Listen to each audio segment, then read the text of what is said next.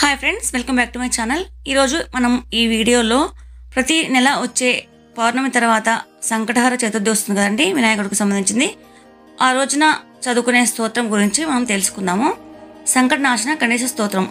ప్రణమ్య శిరసాదేవం గౌరీపుత్రం వినాయకం భక్తావాసం స్మరే నిత్యం ఆయుష్కామార్థ సిద్ధయే ప్రథమం వక్తతుండం చ ఏకదంతం ద్వితీయకం తృతీయం కృష్ణ పింగాక్షం భజవక్త్రం చతుర్థకం लम्बोदरं पञ्चमं च षष्ठं विकटमेव च सप्तमं विघ्नराजं च धूम्रवर्णं तदाष्टमं। नवमं बालचन्द्रं च दशमं तु विनायकम् एकादशं गणपतिं द्वादशं तु गजाननं द्वादशेतानि नामानि त्रिशंदं यः पटे न च विघ्नभयं तस्य सर्वसिद्धिकरं परम् विद्यार्थी लभते विद्यां धनार्थी लभते धनं पुत्रादि लभते पुत्रान् मोक्षार्थी लभते गतिं जपेत् गणपतिस्तोत्रं षड्भिर्मासे फलं लभेत्। సంవత్సరేణ సిద్ధిం చ లభతే సంశయ సంశయः. అష్టభ్యో బ్రాహ్మణేభ్యశ్చ లిఖిత్వా యః సమర్పయేత్. తస్య విద్యా భవే సర్వ గణేశస్య ప్రసాదత. ఈ స్తోత్రం చదువుకోవడం వల్ల పిల్లలకి చదువు వస్తుంది. అంటే చదువులో రాణిస్తారు. పిల్లలు లేని వారికి సంతానం ప్రాప్తిస్తుంది. అలాగే ఇంకా పిల్లలు ఉన్నవారు పూజ చేసుకుంటే సంకటహర చతుర్థి నాడు పిల్లలు వృద్ధిలోకి వస్తారు. అలాగే అనుకున్న కోరికలు కూడా నెరవేరుతాయి. ఏదైనా కోరిక మీకు బలంగా ఉండాలంటే అంటే ఇల్లు కట్టుకోవాలని కానీ ఉద్యోగం రావాలని కానీ ఇంకేదైనా బలమైన కోరిక ఉంటే కనుక మీకు మూడు నెలలు కానీ ఐదు నెలలు కానీ పదకొండు నెలలు కానీ మీ శక్తి అనుసారం మీరు ముడుపు కట్టుకొని అంటే ఎర్రటి క్లాత్ ఉంటుంది కదండి ఆ క్లాత్ని తీసుకొని దాంట్లో పదకొండు రూపాయలు లేకపోతే ఇరవై ఒక్క రూపాయలు లేకపోతే యాభై ఒకటి లేకపోతే నూట పదహారు రూపాయలు అట్లా పెట్టుకొని మీ శక్తి అనుసారము ముడుపు కట్టుకొని పక్కన పెట్టుకొని రెండు పూలు వేసి పూజ చేసుకోవాలి. అంటే రోజు దానికి మామూలుగా ఒక పువ్వు పెట్టి పూజ చేసుకోవాలి ఆ ముడుపు కూడా.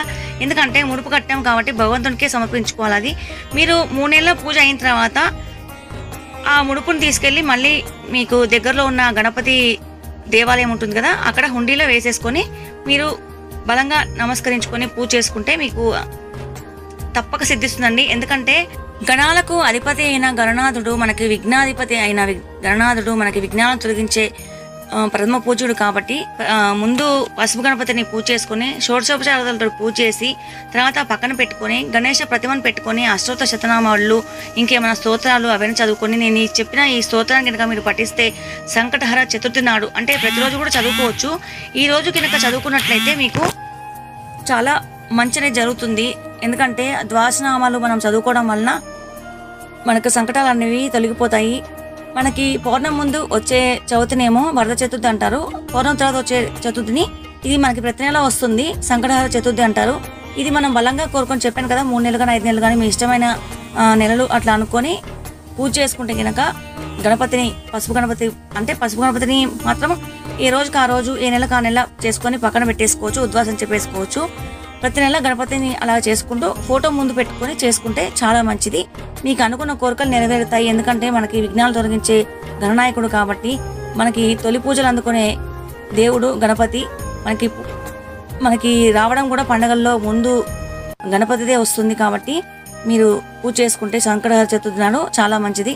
చెప్పాను కదా అన్ని కోరికలు నెరవేరుస్తాయి కాబట్టి ఆ ముడుపు అనేది మీరు లాస్ట్కి మీకు కోరిక నెరవేరినా నెరవేరకపోయినా భగవంతునికి మనం ముడుపు కట్టుకున్నాం కాబట్టి మీరు గణపతికి చెందాలని మీరు హుండీలో వేసుకొని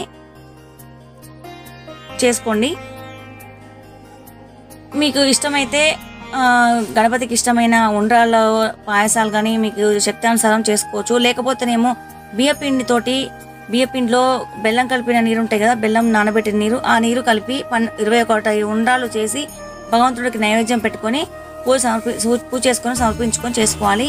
ఈ పూజ అనేది సాయంత్రం వేళలోనే చేసుకోవాలండి. సంకటహర చతుర్థి అనేది చవితి వచ్చిన అంటే చవితి ఒకవేళ మధ్యాహ్నం వచ్చినా పొద్దున వచ్చినా సాయంత్రం పూట ఉంటుంది కదా ఆ సాయంత్రం పూట ఉన్నప్పుడే చేసుకోవాలి. ఆ రోజు ఉపవాసం ఉండి సాయంత్రం పూట పూజ చేసుకొని నైట్ భోజనం చేయొచ్చు.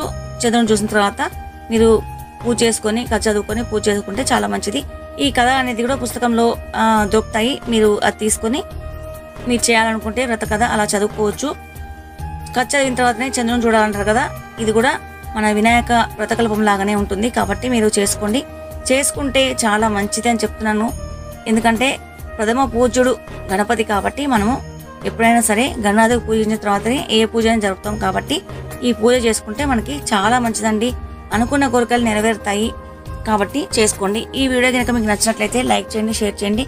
సబ్స్క్రైబ్ చేయడం మర్చిపోకండి. పక్కనే ఉన్న బెల్ ఐకాన్ని ప్రెస్ చేయండి. థ్యాంక్స్ ఫర్ వాచింగ్ అన్నీ